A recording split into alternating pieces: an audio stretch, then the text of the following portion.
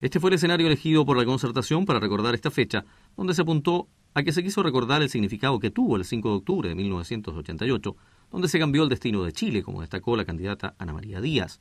quien reconoció que gracias a muchos estamos en un país donde se puede opinar y discrepar, construyendo país, agregó lo que significó el 5 de octubre de 1988, ¿no es cierto?, que fue la victoria de este país para cambiar su destino. Estábamos en una dictadura, hoy día podemos todos transitar en una democracia, ¿no es cierto?, que ha sido pavimentada también con dolor, ¿no es cierto?, con,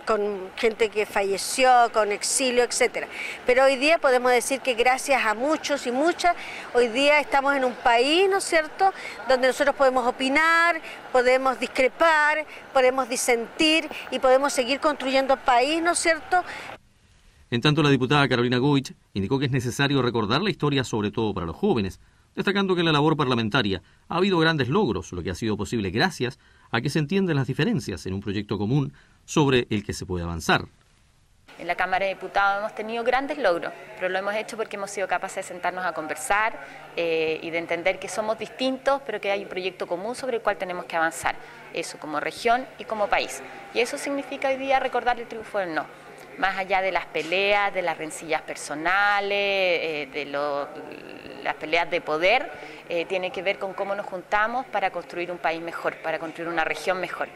Finalmente, al dialogar con Alfredo Miranda, vocero de la concertación, en Magallanes, enfatizó que en torno a las críticas respecto de errores que se han cometido, es una situación natural que se presenta, sin embargo, argumentó que lo importante es la democracia, que se consiguió con un lápiz y un papel, donde se expresó la voluntad ciudadana en su momento.